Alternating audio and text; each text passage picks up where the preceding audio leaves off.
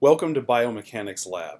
In this video we're going to cover the basics of the shoulder girdle. Now if you're looking in your textbook for lab with respect to this chapter, um, I think you're going to find there's a lot of um, details and um, kind of really specific things and I think it's really easy to get lost in the weeds. So hopefully with this we'll simplify some of the uh, more important things that you really need to know. Now the question is what is the shoulder girdle? Um, and how do we compare that to the shoulder joint um, that we're going to talk about actually in the next chapter, which is also going to be uploaded to Canvas um, for you to watch.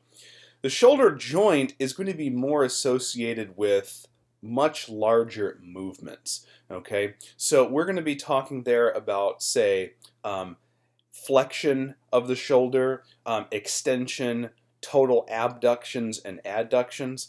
When we're talking about the shoulder girdle itself, the shoulder is not just one joint. Okay, it's a complex arrangement of muscles, bones, tendons, and ligaments. And the function of the shoulder girdle itself is going to be to provide strength to the shoulder. It's going to increase the range of motion of the shoulder, and then also, particularly for the actual shoulder joint, it's going to provide some stabilization. Um, what we're going to find is there's really only one primary attachment between the humerus, which is the upper, or I should really say the proximal bone of your of your arm. There's only one connection between that and the um, and the axial skeleton. Okay, and so because of that, we need some extra stabilization there. In fact, um, pretty much all of the movements of the upper extremity are going to depend on a fully functioning shoulder girdle. And actually what we can see is in certain sports such as baseball, we can have injuries to the shoulder girdle, particularly in anything where we're having a ton of overhand kind of throwing movements, such as pitchers in baseball, volleyball players can have the same thing. And whenever the shoulder girdle becomes compromised, then other systems, particularly in the upper body, also become compromised. All right, let's take a look at the bones here. All right, so right here, this is in the area, of the center of your chest. Um, and this is going to be looking at the anterior view. This is the manubrium, and if we go inferior to that, this was going to be the sternum, which we know is going to extend farther down. This area right here is not actually technically part of the shoulder girdle, um, but it does connect to the bones of the shoulder girdle, which are going to be the clavicle and this flat bone called the scapula. Okay, one of the important things is going to be to recognize this called the glenoid cavity or the glenoid fossa. And the glenoid fossa is going to be the primary insertion point for the head of the humerus.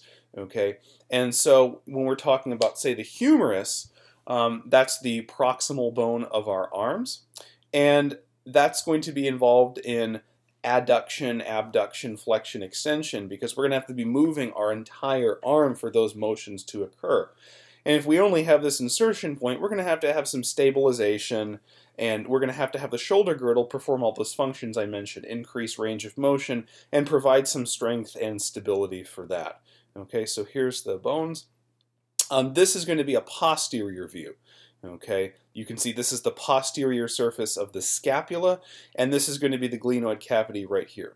Okay, those are some of the main things we're going to concern ourselves with right now. Let's take a quick look at some of the muscles, and I'm not going to go into the detail of the muscles right here. We're going to save that for a few slides. So let's let's look at some of the primary muscles of the shoulder girdle, and they're not necessarily necessarily really close to the shoulder. You can see down here this muscle called the serratus anterior actually is a little more inferior. It's actually on level with some of the rectus abdominis muscles. But nevertheless, it's a longer muscle and it is a part of the shoulder girdle. By the way, this is an anterior view. Here we have the subclavius right here, which is basically right beneath the clavicles. And then we also have the pectoralis minor. Okay, if we look at the posterior side near the neck, um, we have the trapezius muscle, a pretty large muscle. We have the levator scapulae. We have the rhomboids, which consist of the rhomboideus minor, and then also the rhomboideus major. Also notice the rhomboideus major is the inferior part of the rhomboids, whereas the minor part is the superior part. Okay? And again, we'll look at more detail of that in a minute. We may even come back to these slides for some reference. And these are the serratus anterior muscles. This is going to be looking at the person from their right side. We already looked at those. This is from the anterior side, the serratus anterior muscles. Okay, so one of the things we're really concerned with, particularly in this chapter, is we want to understand the motions that we can do with the shoulder girdle that do not necessarily involve the shoulder joint where we have the much larger movements like abduction, adduction, flexion, and extension. Okay. So we'll look at these muscles and hopefully learn to understand which muscles play a role as agonists in those particular motions. Now, one of the things I want to make perfectly clear, when we're only talking about the shoulder girdle, we have abduction and adduction. These motions, as you, and you can see the motions right here, are very different than when we're talking about abduction and adduction of the shoulder joint. For example, if I'm doing an abduction of the shoulder joint. I start out with my arm by my side and pretty much keeping my arm straight, I just move it away from my midline in the frontal plane. Okay, so if this person's arm was right here and their hand was right here, they're going to rotate it up like this all the way out. And then adduction would be moving it back towards the midline. You can see that for the shoulder girdle purposes, these ab this abduction and adduction are very different. Okay. Um, we know that abduction is moving away from the midline.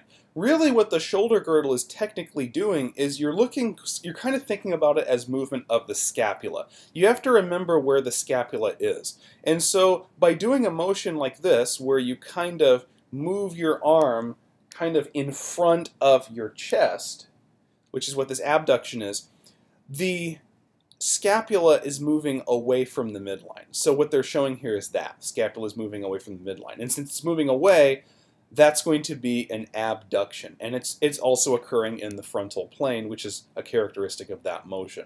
The adduction of the shoulder girdle would be if you sort of took your arm and moved it back behind the plane of your back. Um, one way you can kind of think about this, something that might involve this, if you kind of do it really slowly, if you imagine elbowing somebody from behind, that would be an adduction of the shoulder girdle. And particularly with the scapula, you can see that when you do this motion, it's moving toward the midline in the frontal plane. That's a characteristic of adduction. All right, all right, so elevation and depression. Um, these are a little more, um, I guess you could say, intuitive, at least to me. Um, for these two, C and D, you need to think more or less about the sh about shrugs. So if you go to the gym and do shrugs, you're doing elevation and depression of the shoulder girdle, particularly of the scapula. So when you do this elevation going up, you can see that the scapula is moving up. Notice that pretty much for the most part, your whole arm is really not moving much. Okay, um, and understand that these motions can be coupled with complex motions of the shoulder joint. But for the most part, we're just talking about movement of the scapula. And if you move it up, it's elevation. If you move it down, that would be the downward phase of the, of the shrug. That's a depression. And you're depressing the scapula. So elevation, scapula moves in the superior direction. Depression, it moves inferiorly. And then we have upward rotation and downward rotation. So these are actually angular motions of the scapula.